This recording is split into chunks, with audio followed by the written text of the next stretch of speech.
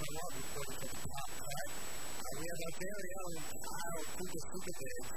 Uh, he has just won the top in the match with Tom Moser. Uh, Kyle, doing?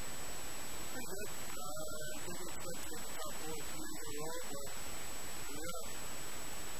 Um, what's your play next?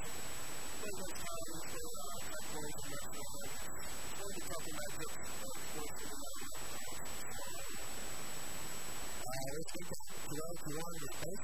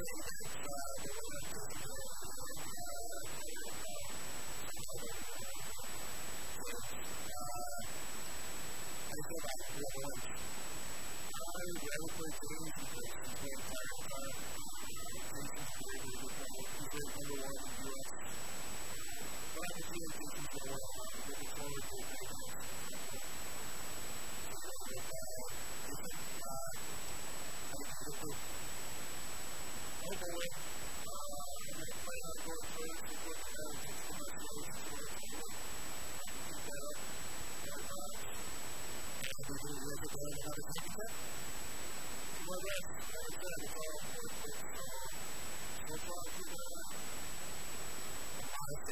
you.